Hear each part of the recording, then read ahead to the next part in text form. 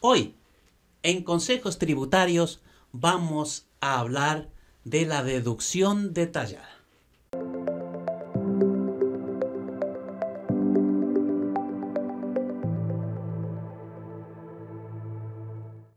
Ya hemos hablado de la deducción estándar, que es la base que el gobierno le otorga dependiendo de su estado civil de presentación.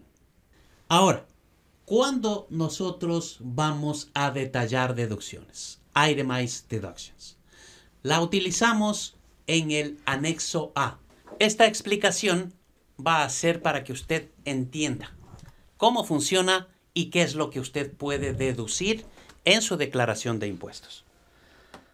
Como sabemos, el anexo A es el único que es en favor del contribuyente. ¿Por qué? Porque todos los demás anexos son de ingresos. El anexo A es las deducciones.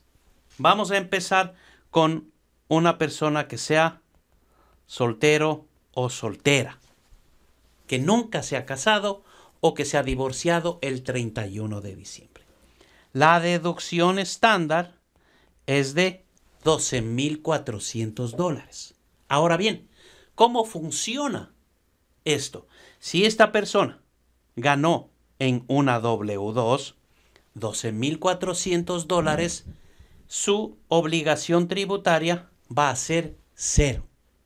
Cero. No va a pagar absolutamente nada. Ahora, Digamos que esta persona en su forma W2, esto es el ingreso, ha ganado 24.800 dólares.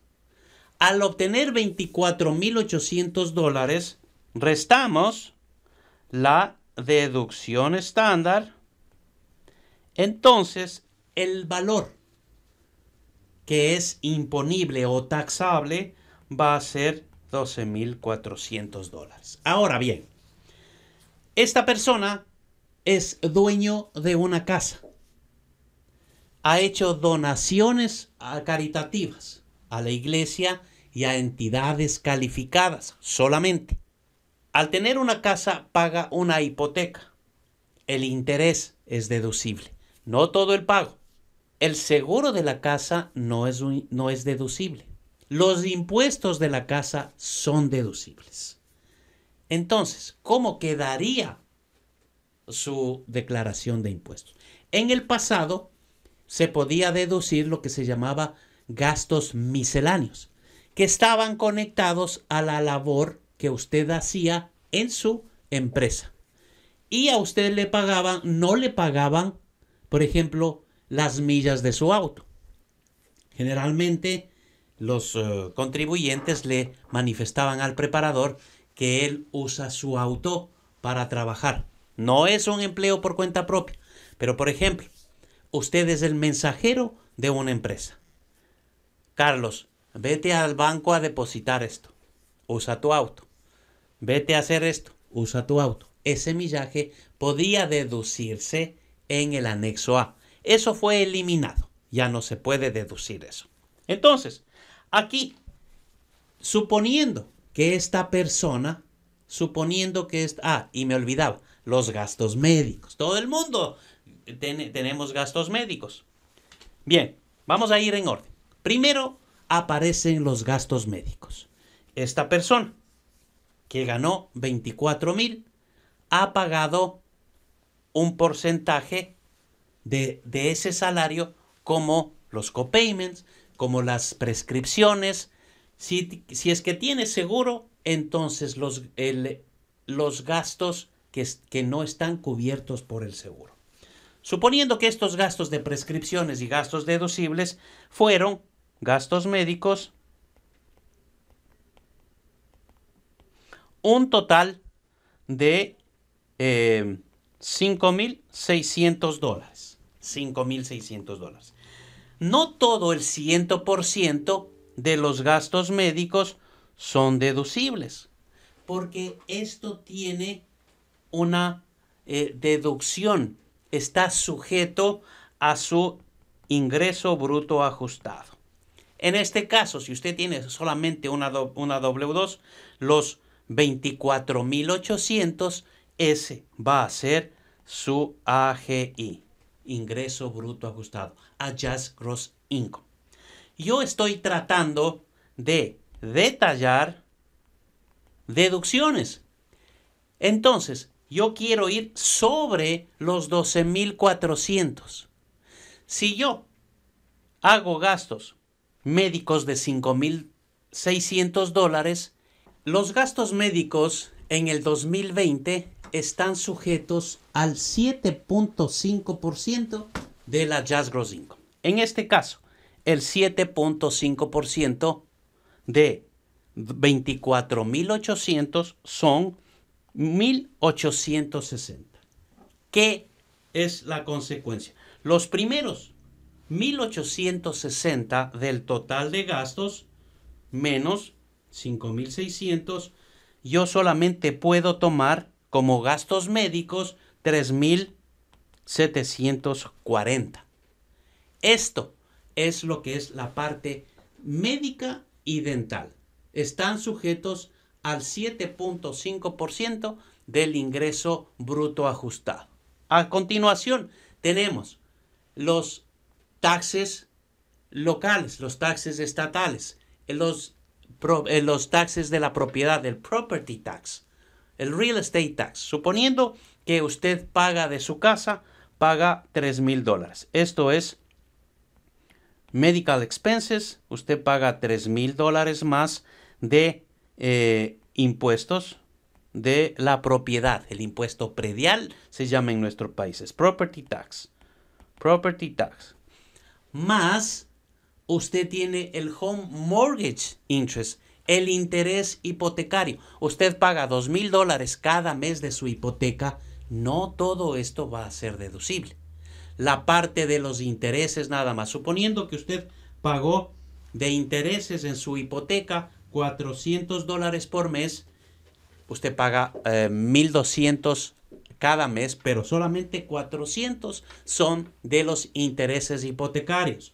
Lo multiplicamos por 12 y son 4.800 dólares de intereses de la hipoteca. El interés hipotecario que usted paga.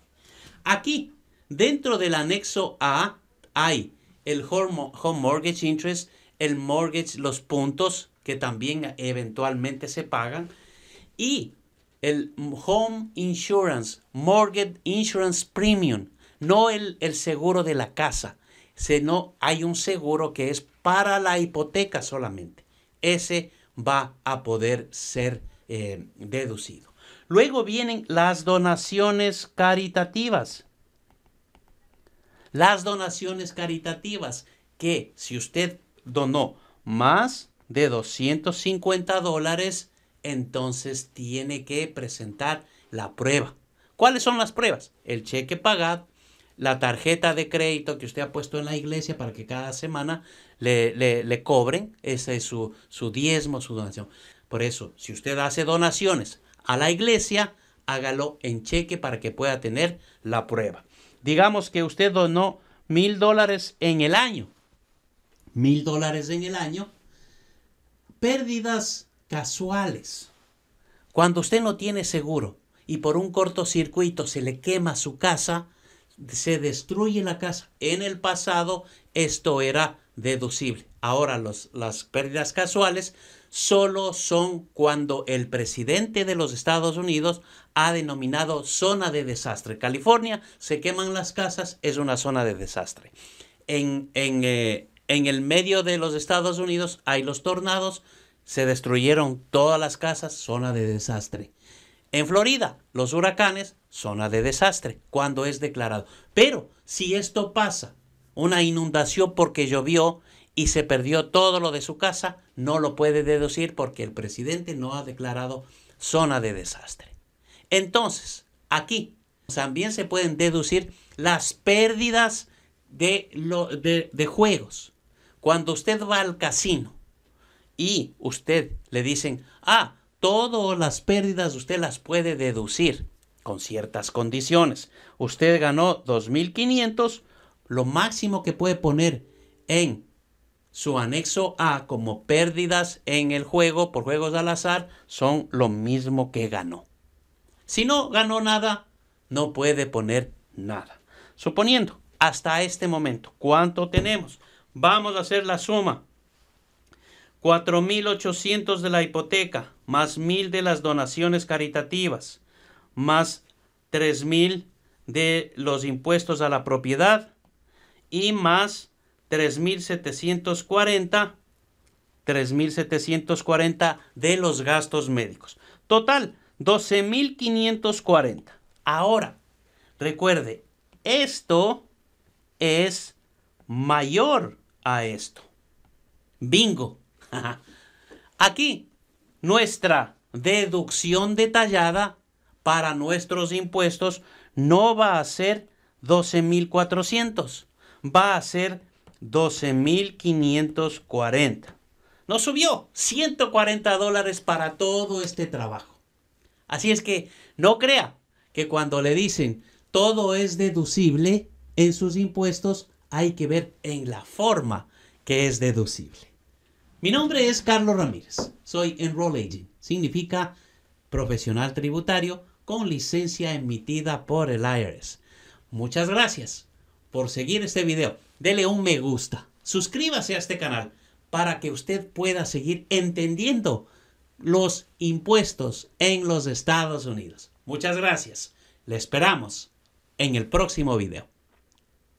Cada día usted escuchará los consejos y tips tributarios con Carlos Ramírez. Únase a este viaje de conocimientos y aprendizaje diario.